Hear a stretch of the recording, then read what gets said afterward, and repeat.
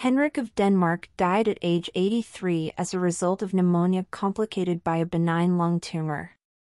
He died on Tuesday, February 13, at 11:18 p.m. at Fredensborg Castle, where he had been transferred a few hours earlier after being admitted to the Rigshospital.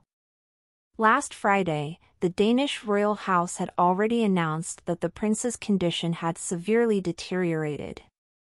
The rapid return of Federico, who was in South Korea supporting athletes competing in the Pyeongchang Winter Olympics, as well as continuous visits from his immediate family already foreshadowed the sad end.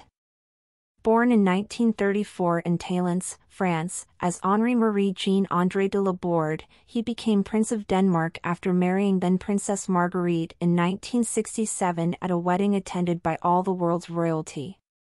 He met his future wife while serving as third secretary at the French embassy in London, while the sovereign was attending an economics course, and they fell madly in love with each other. In the more than 50 years of their marriage, Margaret always showed that Henrik was her great weakness, even though rumors of infidelity constantly haunted her. Marital happiness consists in two people who understand each other well and can surprise each other from time to time, nor did I want to marry without love just to be able to reign, because I would have cheated my parents in Denmark, said Margaret, who had always praised her husband several years earlier.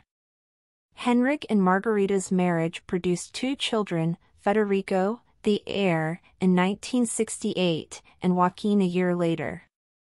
As he himself acknowledged, his role as father could not be called outstanding, since he did not participate in the upbringing and development of Federico and Joaquin.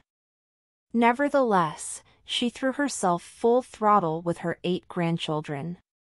For Christian, Isabella, Vincent and Josephine the four children of Federico and Maria and Nicholas, Felix, Henrik and Athena the descendants of Joaquin he was a very close grandfather with whom they shared moments and even official actions. Henrik had been the perfect consort prince for decades. An indispensable supporter of Margaret in the shadows, she managed to win a place in the hearts of the Danes, despite the fact that they knew of her commitment to hedonism. In early 2016, the sovereign announced in her New Year's speech that the prince had decided to resign. I deeply appreciate all the support, help and inspiration you have given me all these years. Since then, the prince has devoted himself to traveling the world as a bon vivant in the purest style of King Juan Carlos.